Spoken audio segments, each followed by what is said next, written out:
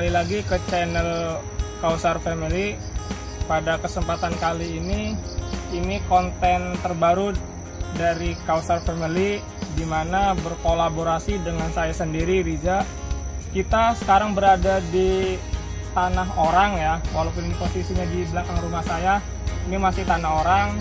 Nanti ke depannya ini akan di akan digarap menjadi urban farming. Selain perkebunan, juga ada nilai estetikanya dari tanah yang akan kita garap.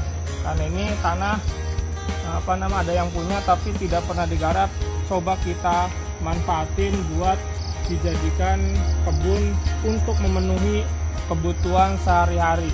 Hanya tanah ini tuh mau dijadiin kebun yang mencukupi kebutuhan rumah tangga. Kayak umpamanya dari cabe, tomat, cengek kalau bawang nggak nggak bisa karena tanah di sini nggak cocok buat bawang. Jadi ketika nanti mau bikin bumbu jahe, laos, kunir nggak usah beli langsung ngambil aja di sini. Dan di belakang kameramen saya ini udah ditanam singkong. Nanti ini tuh selain sebagai pagar dimanfaatkan juga daunnya buat lalap-lalapan. Salah bisa sayur aja. Ya, lalap bisa sayur. Nah ini posisinya di sebelah rumah memanfaatkan tanah yang belum kebangun. Jadi ke depannya kalau udah punya rezeki ini bakal dijadiin garasi. Sebelum dijadiin garasi ini dijadiin kebun kebun samping rumah memanfaatkan barang bekas yang merah itu bekas bekas es krim nanti bakal diisi dengan tanaman sayur-sayuran kangkung, sawi, bayam. Ketika butuh sayuran tersebut tidak beli lagi di tukang sayur. Selain hemat dan juga ini nanamnya secara organik, tidak menggunakan pestisida berbahaya. Ini hidroponik sengaja dibongkar karena perawatan. Bawahnya harus dibersihin ketika setelah panen.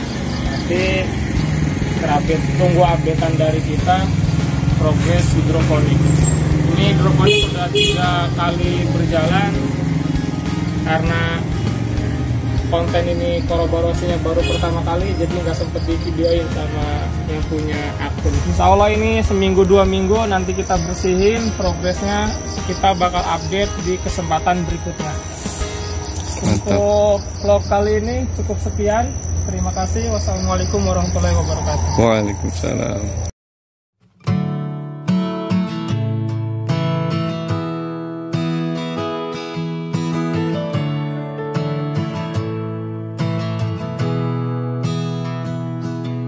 She was sitting all alone over on the tailgate, tan legs swinging by a Georgia plate.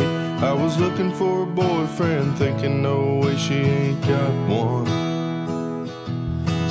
as I sat down, I was falling in love, trying to pour a little sugar in her Dixie cup, talking over the speakers in the back of that truck. She jumped up and cut me off. She was like, Oh my god, this is my song. I've been listening to the radio